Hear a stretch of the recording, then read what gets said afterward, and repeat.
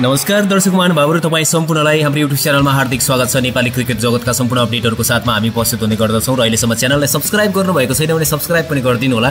भिडियोलाई एक लाइक गर्न पनि नबिर्सिनु होला। आजको भिडियोमा विशेष के चर्चा रहन्छ भन्दा नेपाल भर्सेस युएसए बिचको पहिलो टी ट्वेन्टी म्याचमा विभिन्न एटिट्युडहरू भयो। त्यसको बारेमा चर्चा रहनेछ। विशेष गरेर नेपालको फेभरमा रहेन अम्पायरको डिसिजन र पनि नेपाली क्रिकेट टिमले जित हासिल गर्न सफल भएको छ यो खुसी मान्नुपर्छ नेपाली क्रिकेट टिमको। त्यसो त आज नेपाली क्रिकेट टिमको लक थियो छुट्टै खालको लक थियो। सबैजनाको भाग्य बलियो थियो त्यही भएर नेपाली क्रिकेट टिमले जित हासिल गर्न पनि सक्यो। नत्र भने अम्पायरले भने गलतको गलत डिसिजन दिइरहेका थिए। त्यस कारणले गर्दा कहीँ कहीँ लगले पनि साथ दिनु पर्दो रहेछ भन्ने कुरा रहन्छ। त्यसो त नेपाली खेलाडीहरूले उत्कृष्ट प्रदर्शन गरेका थिए मेहनत राम्रो गरेका थिए।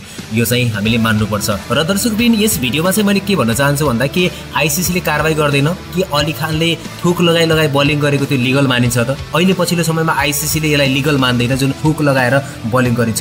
यसरी बलिङ गरेमा चाहिँ इलिगल मानिन्छ लिगल मानिँदैन। यो कुराहरूमा पनि किन अम्पायरले एक्सन लिएनन् भन्ने कुरा रहन्छ भने अम्पायरले त अब नेपाली खेलाडीहरूलाई कसरी आउट दिने भन्नेमा नै लगेका थिए। यो अम्पायरको बारेमा पनि केही चर्चा गर्नेछौँ। कहाँका अम्पायर थिए र किन यसरी उनले लगातार नेपाल विरुद्ध गलत डिसिजन गरे भन्ने विषयमा पनि चर्चा रहनेछ। के अम्पायर र यी गलत हरकत देखाउने खेलाडीहरूलाई कारवाही हुन सक्दैन? कि आइसिसीले कारवाही गर्दैन? कि नेपाल क्रिकेट सङ्घ क्यानले यसको लागि अपिल गर्न सक्दैन कि नेपाली खेलाडीहरूले पनि अपिल गर्न सक्दैनन् भन्ने विषयमा पनि चर्चा रहनेछ दर्शकवृन्द भिडियोलाई अन्त्यसम्म हेरिदिनु होला यस विषयमा तपाईँको विचार के छ तलको कमेन्ट बक्समा पनि लेख्नु होला च्यानललाई सब्सक्राइब गर्नु भएको छैन भने सब्सक्राइब गरिदिनु होला र हामीसँग जोडिनु होला विभिन्न क्रिकेट सम्बन्धी अपडेटहरूको लागि भन्न चाहन्छु। नेपाल क्रिकेट टिमले युएसएसँगको पहिलो खेल जित हासिल गर्न सफल भएको छ र युएसएको टिमलाई उसको घरमा नै उसको मैदानमा नै गएर जित्न सफल भएको छ दर्शक महानुभावहरू। आजभन्दा केही समय अगाडि टी ट्वेन्टी विश्वकपमा युएसएले शानदार प्रदर्शन गरेको थियो। विश्वकपमा पाकिस्तान जस्तो बलियो टिमलाई हराउन पनि सफल भएको थियो र सुपर आठमा पुग्न पनि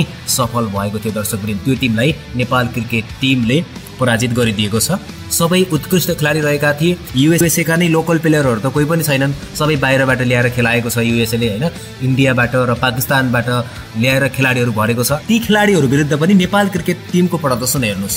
क्या उत्कृष्ट थियो क्या शानदार थियो। त्यसो त दिपेन्द्र सिंहेरी रोहित कुमार पौडेल लगायत सबै टिम वर्क चाहिँ एकदमै राम्रो थियो र जित हासिल गर्न पनि सफल भएको छ। अब सबैभन्दा पहिला चर्चा गरौँ नेपाली खेलाडीहरूलाई चाहिँ गलत डिसिजन दिने अम्पायर जुन आदित्य गुज्जर रहेका छन् उनको इन्डियामा नै जन्म भएको रहेछ इन्डियाको मुम्बईमा र उनी चाहिँ युएसएबाट क्रिकेट खेल्छन्। युएसएका पूर्व क्रिकेटर पनि रहेका छन् दर्शक महानुभावहरू। उनले नेपाल विरुद्ध नेपाललाई हराउनको लागि सुरुदेखि नै लागि परे। केही सिप लागेर नेपाल क्रिकेट टिमले जितेरै छाड्यो। नेपाल टिमको अथक मेहनत र अथक प्रयास र यो शानदार खेल प्रदर्शनले अन्तत युएसएलाई पराजित गरेको छ। यो युएसएको टिम होइन पाकिस्तान हो अथवा इन्डिया हो भन्दा फरक पर्दैन र यस टिमलाई पनि नेपाल क्रिकेट टिमले सजिलै पराजित गरेको छ। सबैभन्दा पहिला त अम्पायरको गलत डिसिजन कहाँ थियो भन्ने तपाईँले पनि नोटिस गरिरहनु भएको छ। धेरैजनाले यसमा पनि सवाल उठाइरहनु भएको छ। यो अली खानको विषयमा पनि म आउनेछु। अली खानले देखाएको एटिट्युडको बारेमा पनि चर्चा गर्नेछु। त्योभन्दा पहिला त हामीले अम्पायरले देखाएको एटिट्युडको बारेमा कुरा गरौँ। र नेपाली खेलाडीहरू ब्याटिङमा आए ब्याटिङमा ओपनिङ जोडीको रूपमा आसिफ शेख र अनिल शाहको जोडी आए। र उनीहरूले निकै राम्रो प्रदर्शन पनि गरे। सत्ताइस सत्ताइस रन बनाए। तर अनिल शाहलाई जसरी आउट दियो अम्पायरले जसरी आउट दिए त्यो बलमा अली खानको बल रहेको थियो। अली खानले जसरी उनलाई आउट गरे त्यो आउट नै थिएन।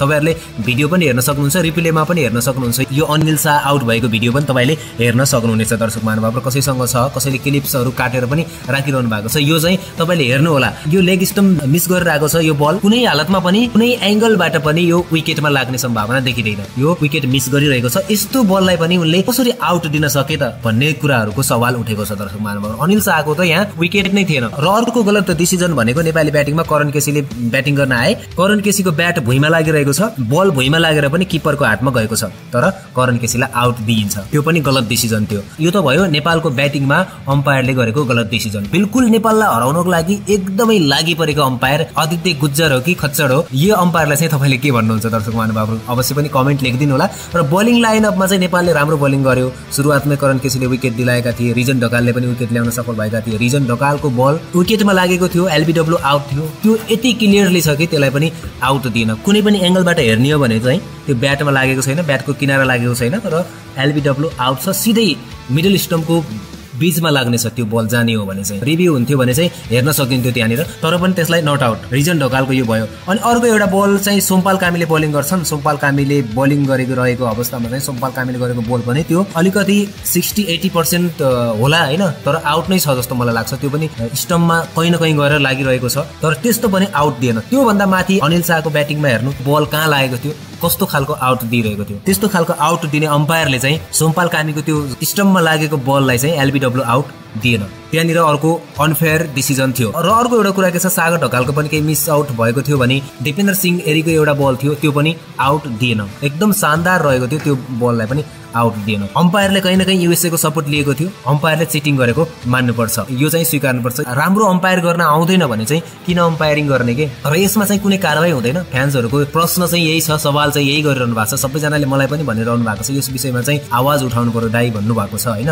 मिडियाहरूले पनि यसको बारेमा आवाज उठाउनु जरुरी छ। नेपाल क्रिकेट सङ्घ क्यानले पनि आवाज उठाउनु पर्ने देखिन्छ र हरेक म्याचहरूमा चाहिँ अम्पायर नै दुश्मनी किन भन्छन् कि नेपाली क्रिकेट टिमको? यो एउटा जान्न मन लागेको कुरा मलाई चाहिँ। दर्शक आदित्य गुज्जर जुन अम्पायर रहेका थिए नेपाल भर्सेस युएसए म्याचको यसमा चाहिँ अम्पायर डिसिजन तपाईँलाई कस्तो लाग्यो सो बारेमा तलको कमेन्ट बक्समा कमेन्ट गरिदिनु होला। र अब रह्यो अर्को एउटा कुरा अली खानको। अली खानले त्यो विकेट लिइरहेका थिए जुन अनिल शाहलाई आउट गराएका थिए। आउट नै थिएन अम्पायरको मद्दतले उनले आउट गर्न पुगे। र उनको सेलिब्रेसन र उनको एटिट्युड हेर्नुहोस् त कस्तो मजाको रहेको थियो।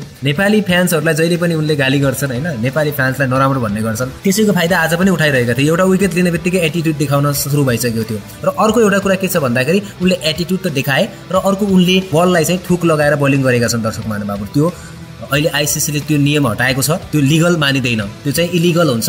यो इलिगल विषयलाई चाहिँ उनलाई कारवाही गर्ने कि नगर्ने? धेरै फ्यान्सहरूले यसमा पनि आवाज उठाउनु भएको छ। अली खान चाहिँ इलिगल बल गरिरहेका छन् उनले इलिगल हरकत देखाइरहेका छन्। त्यो थुक लगाएर बलिङ गर्ने लिगल हुनै सक्दैन अहिलेको क्रिकेटमा। त्यो हटाइसकेको छ आइसिसीले भनेर चाहिँ धेरैजना फ्यान्सहरूले भनिरहेका छन्। फ्यान्सहरूलाई त उनले गाली गर्छन्। कस्तो खालको सेलिब्रेसन गरेर देखाइरहेको थिए नेपाली फ्यान्सहरूलाई नेपाली खेलाडीहरूलाई होइन? त्यो त अब उनको एटिट्युड भयो उनको आफ्नो कुरा भयो जेसुकै गरौँ। तर नेपाली फ्यान्सहरूलाई औँली उठाउने हक अधिकार कसैलाई पनि छैन र नेपाली खेलाडीहरूलाई पनि औँली उठाउने हक अधिकार केही छैन। त्यहाँ चाहिँ अली खानलाई पनि आसिफ शेखसँग भिडाउनु पर्ने हो होइन? अर्को म्याचबाट चाहिँ टिममा नै पर्न बन्देज हुन सक्थ्यो कि सायद? किनकि आसिफ शेखसँग जसले पनि झगडा गर्छ त्यो खेलाडी चाहिँ अर्को खेलबाट चाहिँ टिममा नै प्लेइङ एघारमा नै पर्दैन त्यस्तो भइराखेको छ। त्यहाँ आसिफ शेखसँग पनि भिडाइदिएको भए चाहिँ कस्तो हुन्थ्यो होला?